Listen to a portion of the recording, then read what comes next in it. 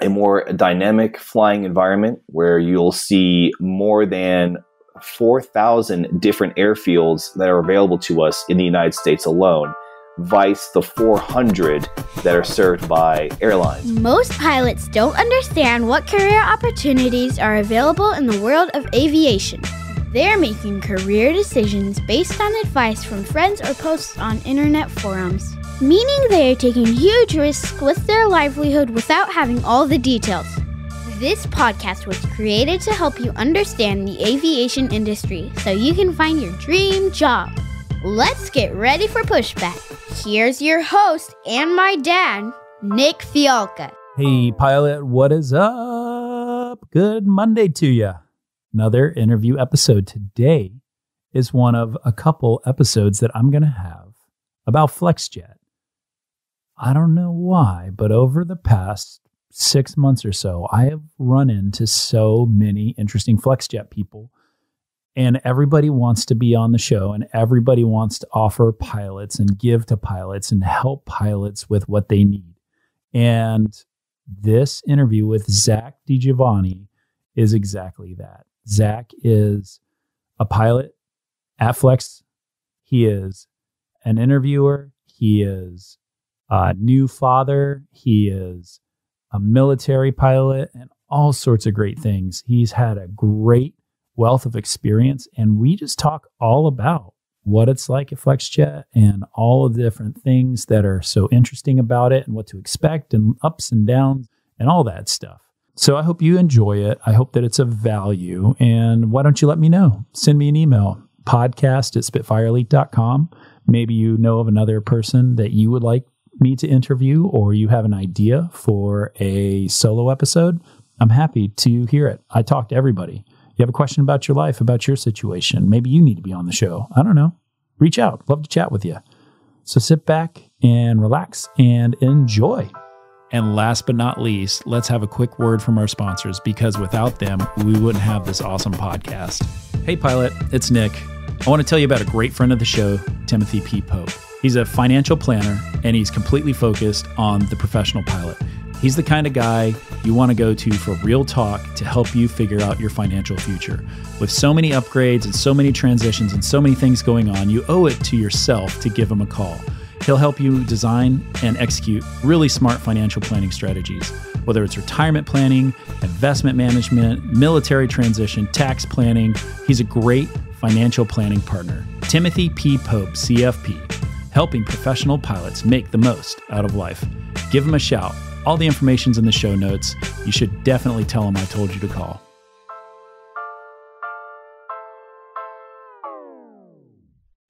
What's up? It's Tron Williams from Spitfire here, and we are back with yet another one. Another one. Yep, we're giving you exclusive access to another unprecedented conversation with one of the best in the business. If you're considering American Airlines, you do not want to miss our conversation with American's Director of Pilot Recruiting and Development, Cory Glenn, on Wednesday, July 26th at 8 p.m. Now listen, no matter where you are in your pilot career, this is the event for you. And trust me, you won't get this level of unfiltered access anywhere else. So go ahead right now and click the link below and secure your spot so that you can be in the place Wednesday, July 26th to get the information directly from the source. You won't want to miss this. We'll see you guys. All right, everybody. I'm with my good buddy, Zach DiGiovanni. What's up, man? How are you? Good, man. How are you? Dude, I am good. I'm so glad to have you on this podcast. It's always fun to have a friend on here. And I am really glad that you came on because I think that the pilot listening here who has so many options in front of them, everybody's telling him or her to go to the airline and go fly that wide body and go do that thing. But you've got a different take on it, man. And I want to hear your story. So, Zach and I used to be colleagues together, and we used to fly at Envoy, right? That's right. Talk to me. Tell me a little bit about your experience, like why you decided to go to the regionals and what your thought process was like when you were just kicking it off. Sure. Yeah, man. So I uh, went to the regionals because I actually went through a rotor transition program through Coast Flight Training.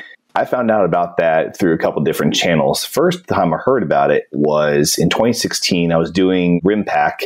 What's RIMPAC? What's RIMPAC? RIMPAC happens every two years, a multinational exercise for the military. Okay, so it's like a big military exercise with like lots of people participating. Right. Cool. So I decided to do a couple weeks there as part of the Navy contingent, which was fun. And one of my older colleagues was telling us about a program in which helicopter pilots got the uh, skills and experience necessary to take their experience from rotary to the fixed wing side and be a commercial pilot with a regional airline. Okay. And I'm sitting there going, well, I think it was November of that same year. This was 2016. I got reached out to via LinkedIn from somebody at Coast Flight saying, Hey, we noticed that you're a military helicopter pilot. Would you be interested in flying for a regional airline? Coast reached out to you. Yes. On LinkedIn. On LinkedIn. Because your network was legit. Good job, man. Thanks, dude. Yeah, man. I mean, granted, I thought this was no way in hell was going to happen. I had less than 1,500 hours. I did not know about the restricted ATP minimums. So I was like, okay, shot in the dark, but why not? Give it a shot. I sent the application in. They called me within the hour, setting up an interview with Envoy. So I go to interview in December 2016 okay. at Envoy. And I got my conditional job offer just before Christmas. And I was going to be going to Coast to start my RTP journey in July 2017. Okay. So between July and October, I was doing time building to start out and uh, did my multi engine add on because I already had my commercial single engine okay. license.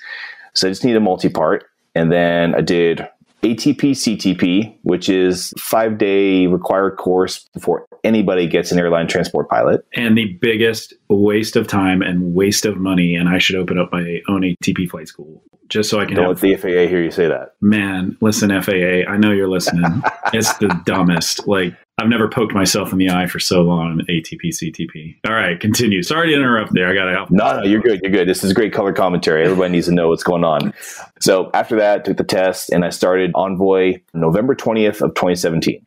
Okay, so November 2017, you started at Envoy. So it was a little less than a year for you to get there, but you didn't really start until six months in. So it kind of took you six months to get from like maybe even five months to get from point A to point B. When you were there at Coast, do you feel like you were like trying really hard to hustle and all that stuff, or were you just kind of like on the easy train? Oh, I was definitely pushing because I wanted to fly as much as possible, as quickly as possible to get through the program and get started with the airline. Yeah. Okay. So let's talk about what it's like, right? So here you are, new guy at Envoy, and mm-hmm. you've been at Coast. You flew in the military and helicopters. Right. You have some experience. Did you fly a helicopter with a glass cockpit or with steam gauges? 60 Romeo did have a glass cockpit. Yeah. Okay, cool. So, what was it like jumping in there and kind of getting things sorted as you went through this training program at Envoy, having done Coast and having done military stuff?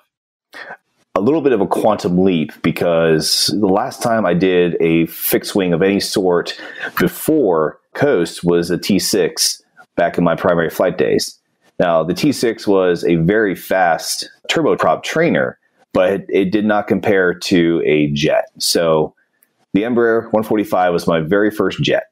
Yeah. And it doesn't have auto throttles and it does not. It likes to overspeed on you and all that other stuff. And it's super slippery. Gosh. Did you kind of pace through you and your sim partner, like really buckled in and figured stuff out? Or you just kind of like bouncing around the Bedford Holiday Inn, like trying to wondering which way's up? It was a little bit of bouncing around, but I think that we got our bearings pretty quickly. For me, at least, it was very much getting back into that mode of when I was a student in the military, diving as deep as I could into the material, trying to get myself as familiar with the airplane as possible being as smart as I could as quickly as I could. So that way I would have that foundation that I needed to be a success in the Sims. So I think I was able to pick things up pretty quickly. And then when I got to the Sim, of course, it was a humbling experience for ride one, two, and let's say maybe even three. But by three, I was starting to get my feet underneath me. And then rides four, five, and six were great because The complexity went up, but I was also steeped enough in my previous mistakes where I was like, okay, I can handle this now. This will be fine. Yeah, I think that there are three parts when I kind of look back on that one initial 121 training is Oh, that's right. Yeah. the number one thing would be learning the flows and call outs, right? hmm In the 145, they made absolutely no sense. They don't follow a pattern. it's just like disparate. And you're like, what in the hell is going on? My life currently at the major airline that I fly at, I fly an Airbus, and it just felt like it's like step one is over your head, and step two is two inches below that, and step three is two inches below that. And then we move on. It's like all in order, it's all ergonomic. But the 145, man, I mean, it looks like one of those like Bugs Bunny cartoons where the hands are blurry because you're going every which way. So it call flows and call outs, right? hmm and you barely have a handle on all of that and then you have to start learning the fms and the fms is the computer and you're punching the box That's right. also that fms on the 145 made no sense Terrible. terrible Terrible. god it was so bad It was very bad. But that said, at least gave you a basis on what to expect going forward. Like FMS is an FMS is an FMS. It has a basic functions. You just need to know where to push the buttons. That's really where it comes down to. yes and so once you memorize the patterns there and you Mhm. memorize the patterns for your flows and then you remember your call outs and you start piecing that together then the third piece i think is like the actual maneuvers of actually flying the plane which is probably the easiest part and it's very funny because i think that people struggle with managing that fms at the same time they're trying to fly the plane right? Yep. gosh and it's tricky. And then you have one thing off and it's all everywhere. So it behooves you to be really cool to your sim partners so that you have a really good pilot monitoring that can help you bail you out. All right so you got through training you got to the line and how long were you at envoy how long did you spend My total tenure at Envoy was just shy of four years. So started in November 2017 and I left September of 21. okay so very similar glide slope to me right almost exactly the same time frame that we were there Yep. you spent four years flying it. What were your kind of sentiments and thoughts about the whole line process flying out of? Did you live in base? Mostly no. I did a little bit. I was DFW based for about, I'd say, a grand total of eight months of the four Okay. I was there. So you commuted. I did. Okay, so you commuted to work and you flew the line. So talk to me about what that experience is like. Absolutely.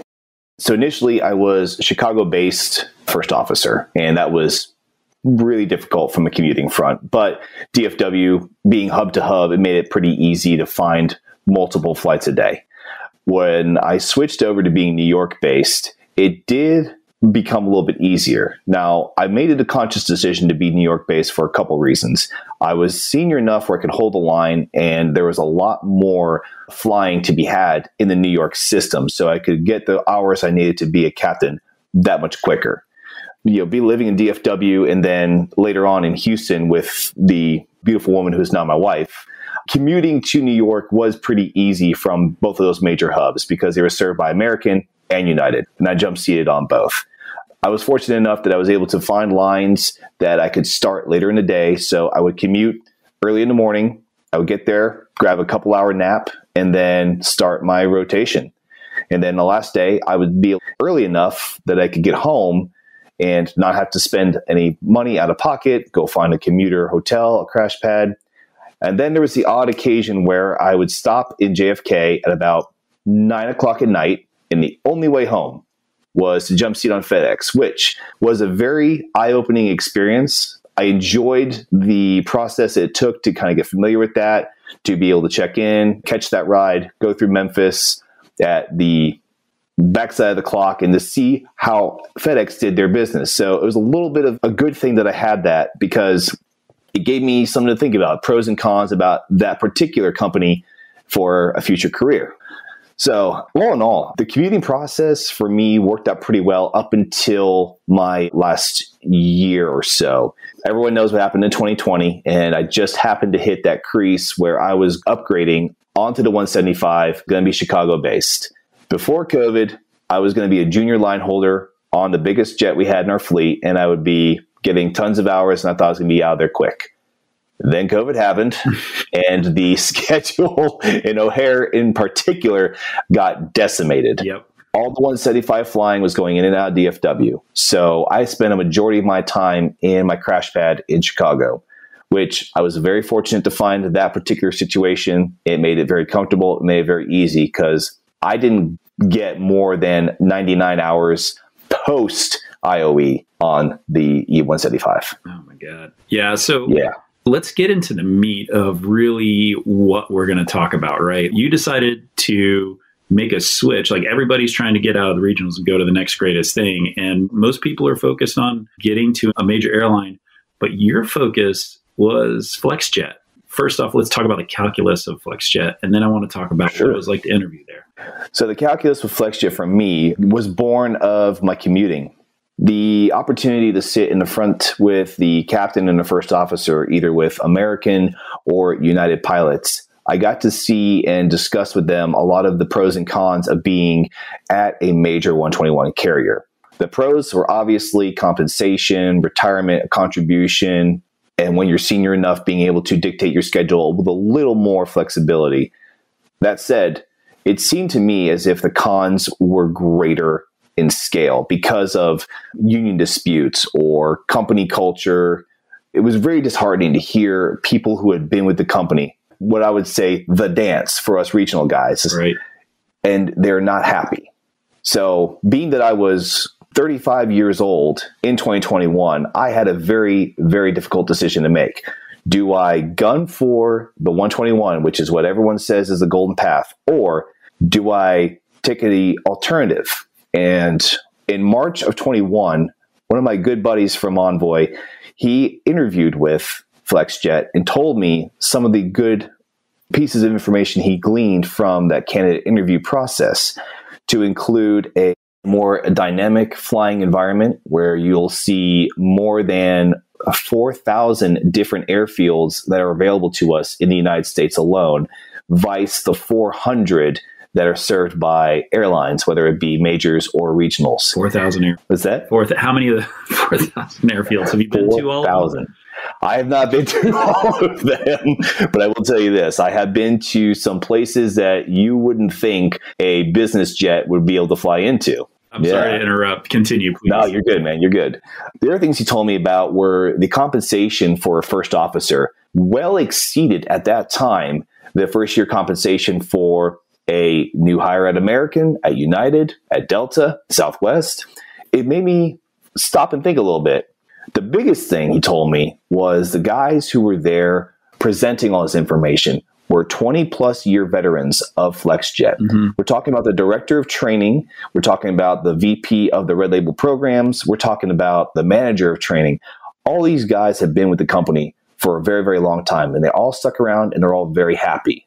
So that's one of the biggest things that kind of came into my mind. So you had on one side, you're commuting, you're jump seating, you're talking to these United and American pilots, and there's a lot of like frustration and disgruntledness. On the other Right. side, everything from FlexJet is indicating like guys are sticking around and they're still pretty stoked. Yeah. All right. Absolutely. I mean, we'll get more into the details of some of the cool perks and bennies that are winners as far as like, you know, side benefits. But the biggest things being a great first year compensation package and going up from there. And then just the overall quality of life, the happiness of the pilots. Is like that's what we all seek. And I get that quality of life is different from one pilot to another. But for me, I would much rather for the next 30 years of my career be happy to go to work as opposed to disgruntled and upset, whatever the case may be. Yeah. I think about the Lego, uh, Lego cartoon. Ah, yes. I should put that in the show notes. If you haven't seen the Lego cartoons, that guy's a genius. It's all about Lego Living the dream. airlines. Living the dream. Oh man, Genius. so good. I got to find that. All right, so things are sounding Mhm. good. And so, did you cold apply and just kind of wait around? Did you get out there and get moving and try to work your way in? Like, how did you? I cold applied, and at the time, the only recruiter that was on the pilot side was a fantastic lady by the name of Marie Gill. And I had just hit that luck and timing point where she went out on maternity leave with her first baby. So I had to wait a few months. But I was in close contact with Tony Cortopassi, who was one of the RTAG guys on campus at FlexJet working with the recruitment department. He assured me time and time again, dude, just hang on. Marie's going to get back to you. And she finally did. And so we had a short conversation. She asked me some particulars about what the background of my flying and aviation career looked like and what my motivations were for applying with FlexJet.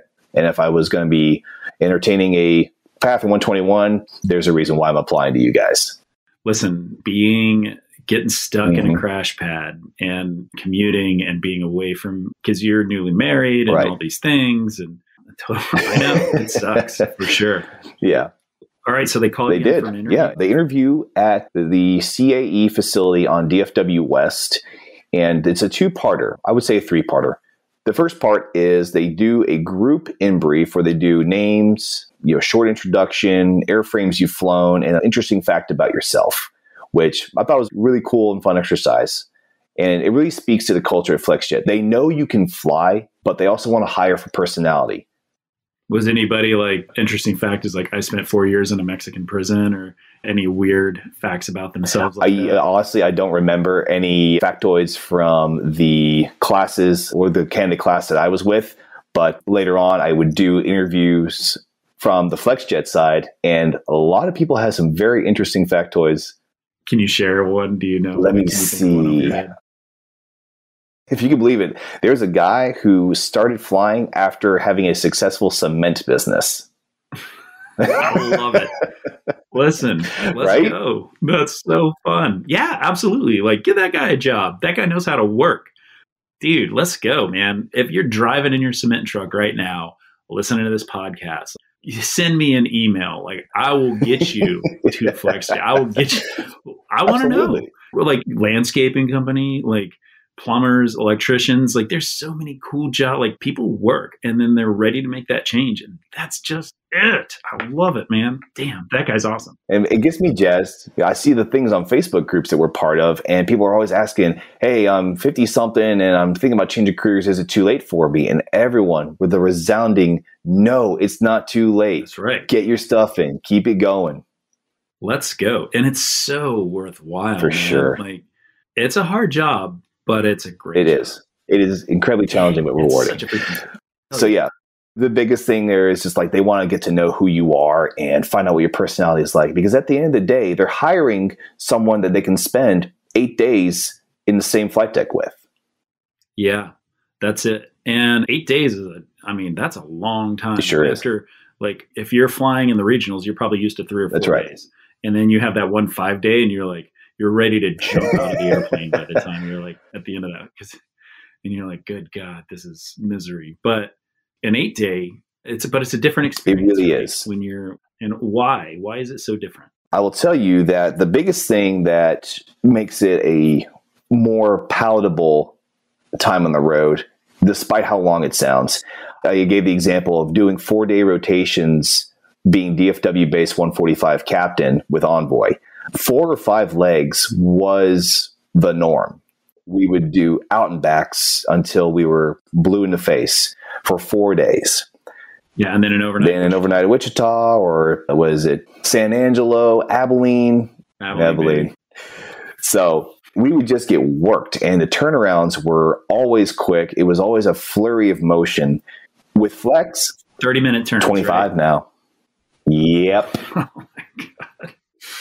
Y'all mm-hmm. regionals, man. My heart is out to you. I love you. Just yep. keep working. It's worth it. Keep the other side. Yep. It's worth it. Let's. Go. We've been there, done that. We understand the pain, but stay hungry because the best times are coming. Yeah, get your apps in. Give me a call. That's it. So yeah, I mean, it was an exhausting four days, and by the end of it, I was basically flopping my face onto my bed at home, and then I wake up, and then oh crap, I have to do my laundry and get ready for the next one. But at FlexJet, yeah, even though I didn't have to do eight days in a row because I was DFW based, I chose to for a couple of reasons. One, it got me the baseline compensation that they calculate for is an average of 16 days or 15 and a half to 16 days per bid period. And then I could get two trips knocked out, be done for the month, and have six days in between. So longer time on the road, but also longer time at home. Also, the working conditions at FlexJet were very different when you're flying a business jet, you're flying fewer people, you don't have these rushed turnarounds. And while this is all going on, you're getting catered meals if you're working and you're getting better treatment from the ground personnel at the FBOs. And say about 40% of our flying is empty positioning legs. So it's a really a chance for you to just kind of relax, take a breather, catch up on some of the cleaning if you're doing a really tight turn, or it's just going to be like one of those long transcons getting you to your next place. It's not as intense. I mean, we're doing maybe two to three legs on average on the Challenger fleet at the time. Now, granted, it's ramped up a little bit and we're seeing a lot more demand at this point. But when I started, it wasn't as hectic as it had been when I was at Envoy. So a little more relaxed, a little less frenetic, and the push, push, push is not there. Yeah. And I'll tell you, it's interesting, right? Zach and I started basically the same time, and we met at Envoy. Like we were a couple weeks apart in hiring, and we left a couple weeks apart. and also, Zach got married at the beginning of COVID. He's the first person I met. He's the first person I saw. He got married, like he had a huge wedding plan and all this, and got married at your house, right? And my mother-in-law. Yeah, and the neighbors like did up the house and got it. It was so yeah. cool. Like, God, it's just the cutest damn thing you ever saw. And like my wife and I were watching like the pictures and stuff. We're like, gosh, you know, it's so sad that you're like having to get married during COVID because you can't do that. But then I'm like, dang, like what an experience, Absolutely. you know? So I digress a little bit. The point I was trying to make, which I totally got sidetracked on, is the fact that like I dig what I do. I love it. And you dig what mm-hmm. you do and you love it when you get to the regional and you start flying, first off, your eyes, you're so excited. And it's just, yeah. it's just great. And it probably takes, I would say, every job, you've got about a six month honeymoon period before like regular mm-hmm. life starts to set in. And so after you are there for six months, especially if you're commuting and doing all these things, like it can certainly start to wear on you. And you've got to do those things like to keep yourself motivated to know that like there's an end in sight. And then once you're able like getting into the monotony i guess of the day in day out five turns 25 minute yep. turns like five a day to some side of the interstate overnight at some crap hotel with a it smells like cigarettes and there's one like there's a treadmill in the front yard and that's the gym. You're not lying was like, what is this, a prison gym? It's like they share it with the That's prison right. during certain hours. and then there's this total lifestyle change where you're staying in nice hotels. I'm guessing oh, you're oh, yes. staying in nice hotels, right? And do you get to keep the points at these hotels? Yes, that's one of the things I was going to get into. Sure. sure. Let's go. The company does a great job of setting us up so that we are able to take advantage of the hotel points and airline miles. So for me, being a DFW guy, I do a lot of trips on American and I'm able to get those miles, get the status that goes with it, and I think I'm pretty much knocking on the door of being a platinum for the next year. Oh man, that's cool, and there's a lot of value mm-hmm. in that for sure, and a lot of extra cool benefits. And so you start getting paid from the first day, right? Like, is that because they always say like it's not a commute because you're getting paid. Uh, that's right. I mean, the great thing about it is when your duty clock starts, day one is typically going to be your travel day, and then day last will be your go home day. There will never be an occasion where they're going to junior man you or extend you against your will. They'll throw it out there and say, hey, do you want to volunteer to extend? And we'll pay you overtime for it. But if you say no, they'll find someone else who's willing. Yeah, and junior manning, for those of you who have not gotten punched in the face, it is a punch in the face. Man, it's mm-hmm. the worst. So you're done with your five day and you get a call from crew scheduling and they're like, guess what? We've got one more flight for you and you are the only person available. So you yep. have to take it. You can be like, no, I've got to take my child to the emergency room because their arm came off. And they'll be like, no, I'm sorry, you've got to fly this flight. And that's a junior man. Like if you turn it down, you're probably going to be sitting in the chief pilot's mm-hmm. office. And that's some yes. Like, but it's what's up. Like, and that's written in the contract. So, hey, all y'all that are negotiating all these great contracts right now, let's get rid of that. Yeah. Let's drop that. Yeah, for sure. But you the opportunity, right? You get mm-hmm. a chance to, hey, we got some extra cash we want to throw your way. you're going to get another hotel mm-hmm. for you an overnight, and you get some more points, and you'll still get frequent flyer miles. That's right on your way home. So, have you been using those points, going to some like fancy locations and staying at the Ritz? Not yet. I'm still trying to build my little nest egg for that. And there hasn't really been an occasion where we've needed to dip into that. Eventually, yes, soon. Soon. Yeah, right. but it'll be late next year because we're welcoming baby number two in January. Heck yeah. Well, so what's a paternity leave? Does it look good? What's it look like? So I actually can speak a little bit to that because this past January was when my son was born. And when I was going through that, I talked to the company early on about the fact that this was going to be happening. And of course, the first response is, Oh my gosh, congratulations. We're so absolutely thrilled for you. Here's what we're going to do, or here's what we're going to need. yeah, junior man. Here's a junior man. screw you now and they'll reward you later. the company is a fantastic family first culture and they actually do stand by that. Going off track just a little bit, there are numerous anecdotes of how the company went above and beyond for their people, for family situations.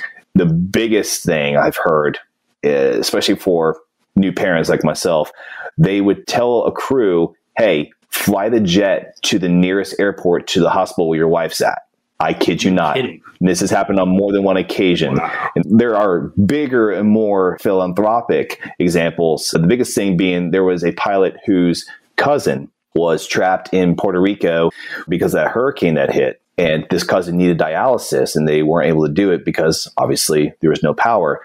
And so, hey, listen, I don't care what it costs. Can I charter one of our jets to go down there and get my cousin? The company initially said no. And you're sitting going, but wait, here's what you're going to do. You're going to load up this jet with as much humanitarian relief and aid and supplies that you can take down there drop it off and then you take your cousin and family out of there on our jet to a hospital. Yes. And these are no bs yeah. stories by the way people. These are 100% true and you can verify them but it just speaks to the culture that this company is. So back on track. There's no real paternity leave. So, what I did was we were still kind of in a limbo period where we were doing the scheduling that they had initiated for COVID, Project Lift. They were giving us opportunity to be able to schedule for two bid periods at a time. And what I did was I spoke with my scheduler, said, Hey, Dave, what do you think about establishing a two week on, two week off rotation? My son is due on this day in January. And if I do that, I can do a trip all the way at the beginning of January, be off for the rest of the month, and then start again at the end of February. That would give me about a four or five week window to be home with my wife and my son in his first few weeks of life. So he said, Yeah, man, absolutely. No problem. Got it done. And that did not have any impact on my pay and it allowed me to be home with my family at a very crucial moment. Yeah, that's mm-hmm. important, man. My timing with my kiddos has always worked out well. Everybody's been on board, and it's been it's always one thing or another. But man, you got to take care of your spouse. For Definitely, sure. That's awesome, man. So one of the other things, right? Just besides flying the line, you also mm-hmm. do interviews, right? All right. So now you're on the other side of the coin, and I want to know I'm the pilot right. listening, right? You're talking directly to the person that you're probably going to interview mm-hmm. next week. So, first off, what gouge, what intelligence can you give them about the process? And then, what do they need to know Certainly. to succeed? So, I alluded to it earlier in the podcast about how this was like a three part process. There was the group in brief where they introduce you to FlexJet and all its awesomeness.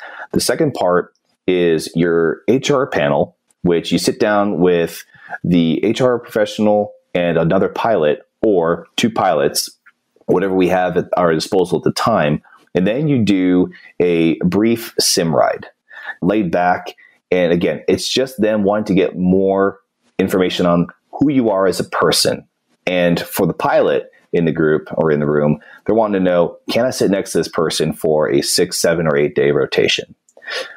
Are you asking questions like pre-gonculated questions that are kind of in front of you or are you just kind of talking extemporaneously and asking some? It's more get to know you questions. I mean obviously we do have a couple of what i'll call scripted questions to kind of mm-hmm. frame out the experience part. Like for example what's some of the things you did at your previous job that you found fun? Or the biggest one we want to know about is have you ever flown with a difficult captain? And how did you handle that? Oh yeah, it is a good one. Punch. um,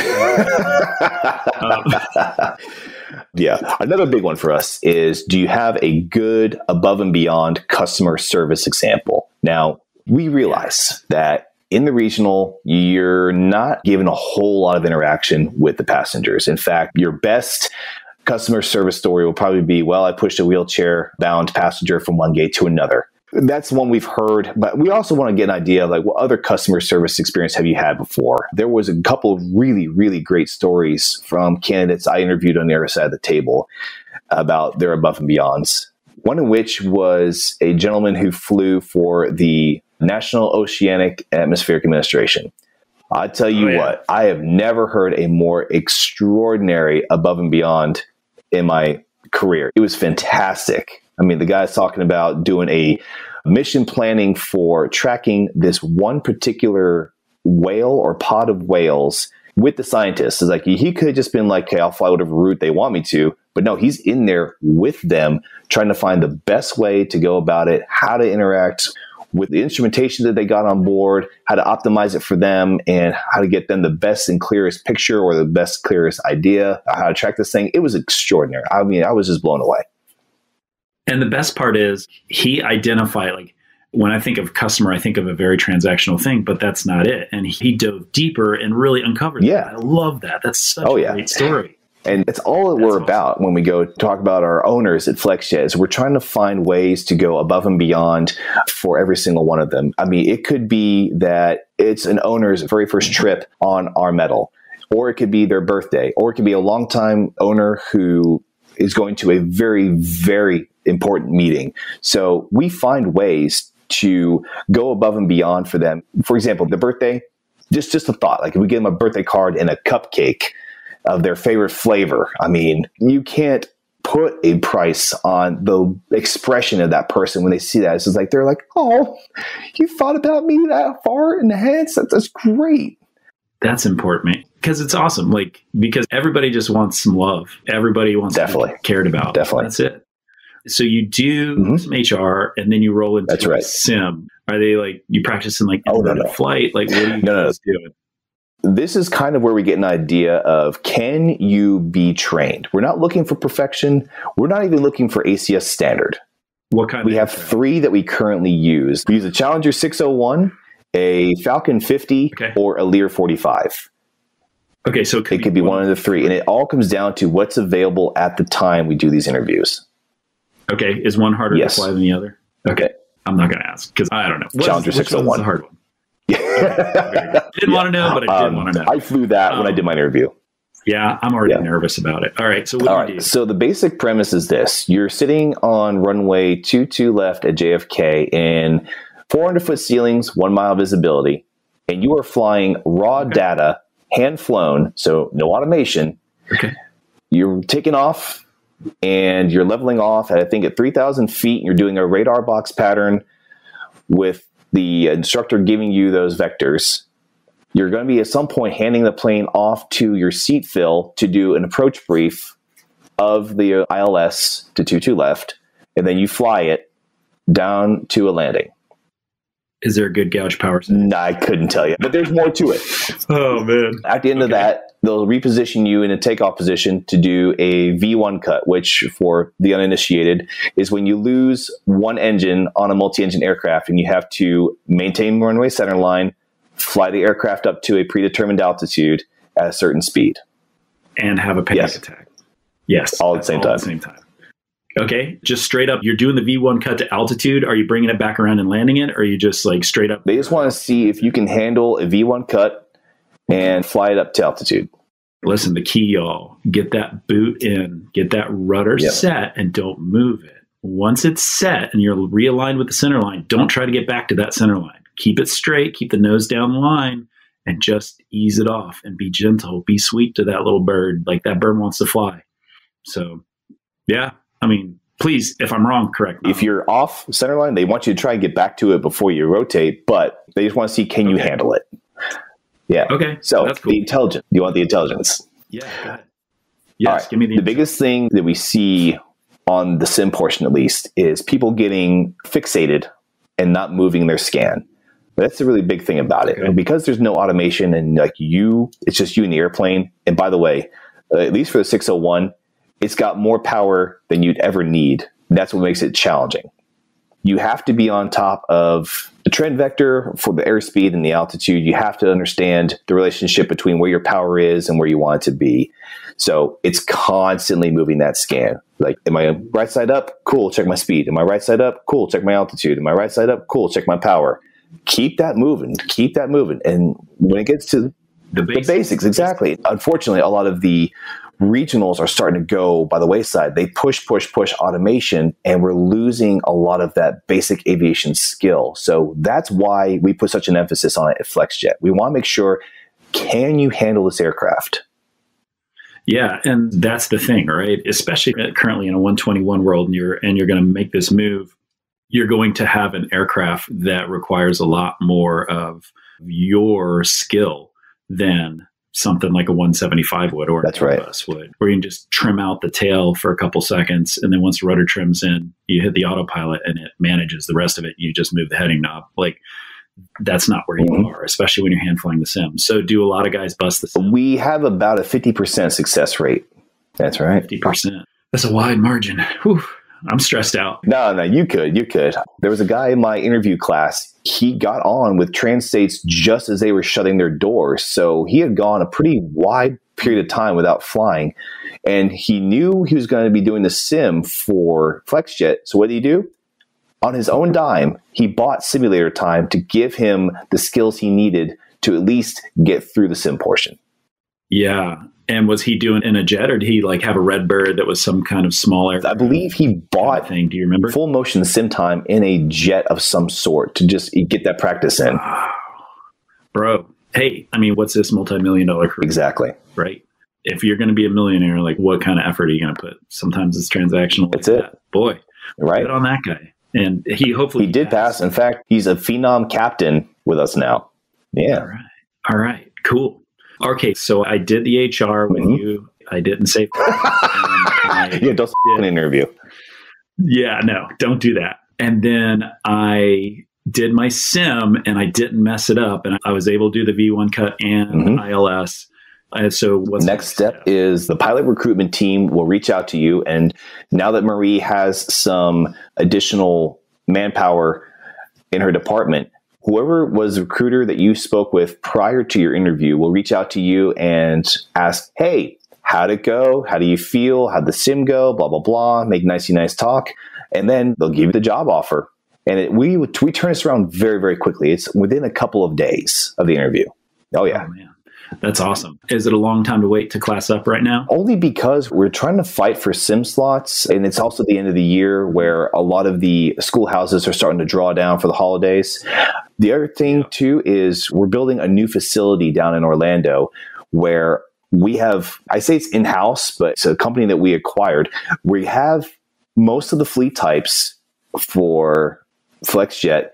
They're at this facility coming up. So we're going to have classrooms and sims we're going to get first pick and obviously we're going to have other customers coming in to fill the rest of the slots but Right. it has been relatively quick for most fleet types where you start out as when you first hired you're going to be one of fleet types. I'm, I'm sure you had that question queued up but i'm going to jump that gun. You're either going to be a phenom 300 a legacy 550 or praetor 600 or challenger 300 350 or now 3500 second in command when you first start Man. So you go through, I know we're pushing the link this conversation, but I really think this is such Absolutely. information. And I feel like the pilot listening is is probably just as interested if he's hung out for the past 50 minutes. So so after you start training, like what was your training experience like? It was actually very similar to the structure that we encountered at Envoy, with the exception of it was very accelerated. We did pretty much all the ground school and sims within, I would say, a three to four week period. Yeah, it is a lot. Now, granted, we did have a day break in between the ground school and sim portions, but most of it was exactly the same as what we encountered at the regional. There's ground school, you go through systems, then you do a procedure trainer in the afternoon, or vice versa, whatever the case may be. And then you do all your sim sessions pretty much back to back to back to back. Yeah, that's pretty exhausting, but it's worth it. Get it done, get it Yeah. over with, get it moving. So, do you have any tips for people that are like targeting FlexJet that really want to work there, that are trying to figure out a way to break out and to show who they are, that they are a great candidate? Do you have any tips for them? The biggest thing is having that customer service mindset and that heart and that desire. Because at the core of our company, we are customer service that just happens to fly jets. Yeah, that's right. It's a customer Mhm. service company. Like that's just yeah, absolutely. What question am I forgetting to ask you? A lot of people that I've talked to just off the cuff have asked me a lot about some of the other things we do at Flex that are different. So we use the two of us as an example. At Delta, you get your per diem, and probably not a lot. and that's what you get to spend each night on your dinner with your crew. But that's stuff that comes out of your pocket, right?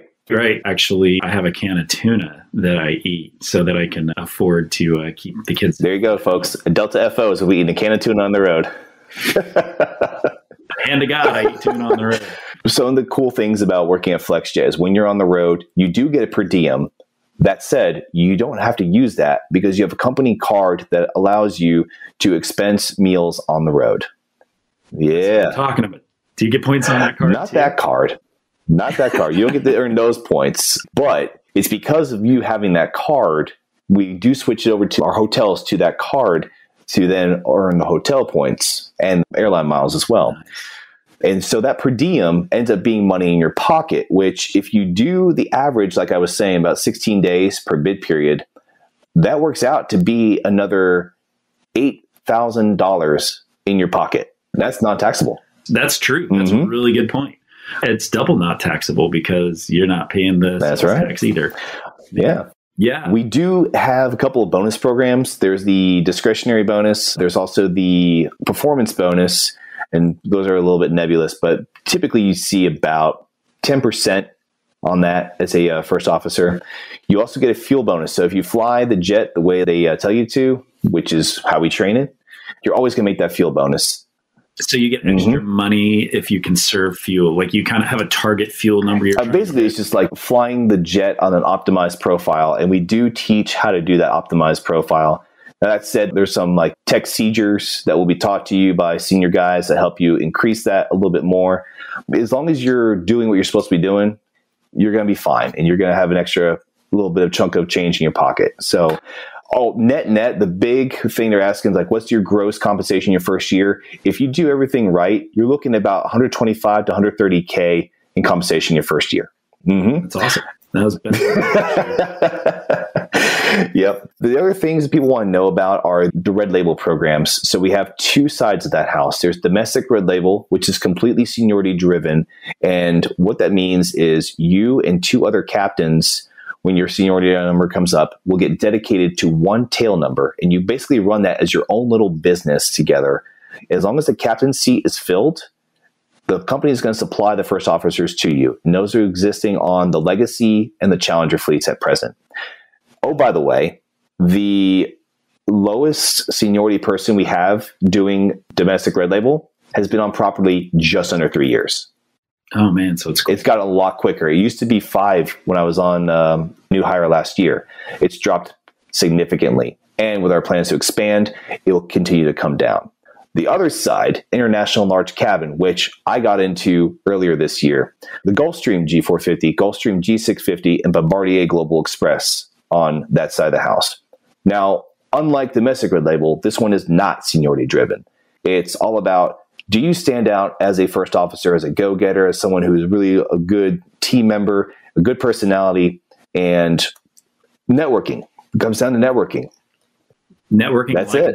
man. That's it. Ah, that's everything in life, dude. Oh yeah. So, So when you're on that side of the house, you are part of a team of five people manning two seats on that jet. You also get a cabin server that you're working with now, whose main job is to take care of the owners in the back. But at the end of the day, all three of you are working together to make sure that that plane is in tip-top shape for the rest of the day or the next day. And it really does become a really fun dynamic. The personalities that we work with, we have great cabin servers, both on property and contract. It's a lot like working at the regional again. Yeah, of course you got selected to go do that. I'm not surprised. That's awesome. Dude, so you talked about eight days on and all that. Like, what's the schedule look like? How does that work? All right, so scheduling is very much a product of how you want your month to look. And I say that because we have preferential bid system. Now, unlike preferential bid system at the airlines, ours works a little bit different. It is very simple. What days do you want on? What days do you want off? And depending on which base you have as your domicile, which we have 100 domiciles across the entire country, and none of them are seniority driven. All it is is giving us a way to figure out where to start and stop your duty So it's just kind of proximate. Right. So, for example, I'm DFW based. So, for me, it's one of seven primary domiciles. We can go down to as few as four days on in a row. But most places outside of a primary domicile, you're looking at about a minimum of six to seven days. Basically, because they want to kind of get you there and keep you going. I guess, is it a cost thing? Is it just like that's just kind of the nature of the beast? Yeah, it's a little bit of a cost thing, and there's a lot more people living in a primary domicile like DFW or Denver or LA versus, let's say, Durango, Colorado. Yeah, I'd love to live in Durango. It'd be sweet. yeah. So to give you an idea, we have without getting too far into the weeds, there's lines that you can be scheduled for if you don't put in a bid, and then there's lines that you have to bid for in order to be given that schedule. Okay. So, for example, even though I didn't have to do it being DFW based, I would typically do eight on, six off. And that's a typical rotation you would see at other Part 135 carriers. But for us, it comes down to do you want to have a more consistent schedule or do you want to like for example, just have a couple days off here because you know your wife wants to have a girls' day with her friends, and so you'd be home to watch the kiddos. Or do you have a special occasion that you're trying to maneuver around? So all that to say, there's a lot more flexibility with PBS scheduling at FlexJet, and it all comes down to do you want to be on this day or do you want to be off this day? And oh, by the way, days off are sacrosanct. Oh, big word. I blacked out. What happened? Oh my god. so I think that means like we don't mess with it. Correct. That's good. hmm Are you bidding certain trip? Oh, I know I want to take this bird to this location for this overnight because I really like the steak dinner there.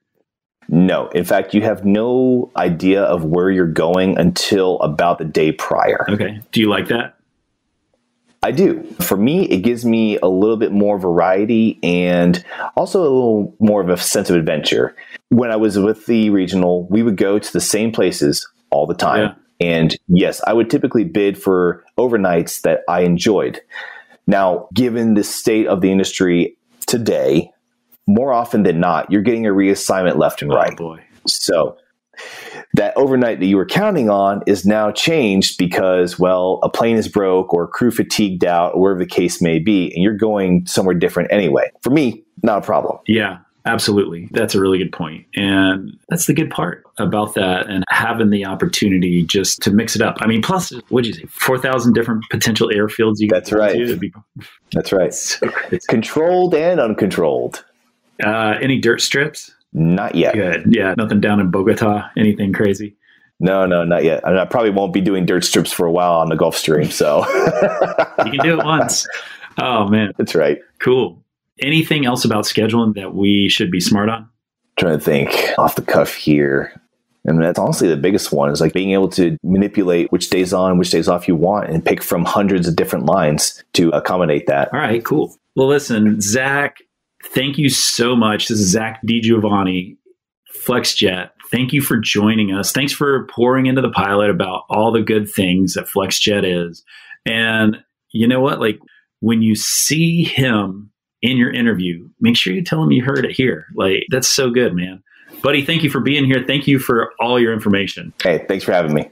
All right, dude. See ya. Bye. Hey, before I let you go, I need to mention one thing because a lot of people are asking me, can you do anything? Can you help me with this? And the answer is yes.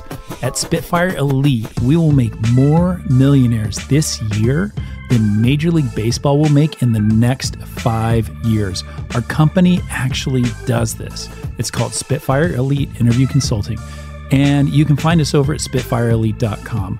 Our clients, they call us the easy button for interview prep because everything you need to crush your interview is there in one spot. Whether it's application review or interview prep, all of it is covered. We've helped thousands of clients who are now flying at their dream jobs because our coaches gave them the one on one feedback that they needed to succeed on the biggest day of their life.